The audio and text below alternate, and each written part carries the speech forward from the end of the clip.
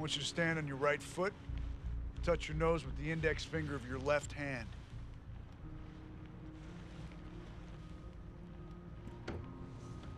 I told you he doesn't drink. Ma'am, I'm only gonna tell you one time to stay in the vehicle. Ma'am, Honey, honey, I, I'm okay. I got this. don't you man me. Who the hell do you think you're talking to? Look, officer, um, my, my wife has had a couple All right, drinks. both of you turn around, put your hands on top of your head and interlock your fingers. no, wait, wait a minute. We're only a block Hands away on your head, house. interlock your fingers. That's hands not on even your head, necessary. interlock your fingers. Look, Here I'm a go. television director. Wait! What did I Me and my wife are just coming home from an Get award show. off down. Calm down. is nothing wrong. Put We're your hands on top of your head, ma'am. Will you just do what he says? Fuck you. Put your hands on you top of keep your head, filthy ma'am. fucking hands off me. Stop fucking pig. Christine, just stop talking. That's quite a mouth you have. Of course you know that. Fuck you. That's what this is all about, isn't it?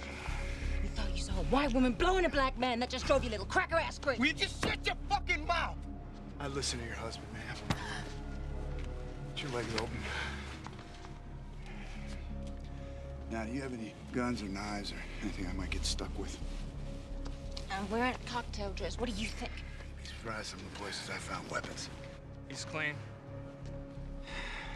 What do you think we should do about this, Mr. Thayer?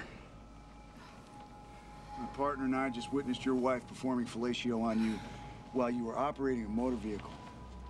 That's reckless endangerment, which, incidentally, is a felony. And we can charge your wife here with lewd conduct and performing a sexual act in public.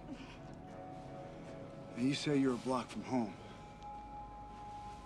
Now, we could use our discretion and let you go with a warning, or we can cuff you and put you in the back of the car. What do you think we should do, sir?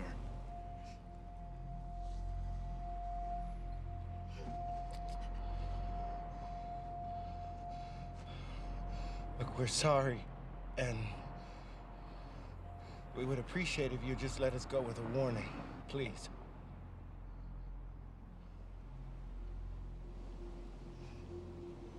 Man's apologizing, Tommy.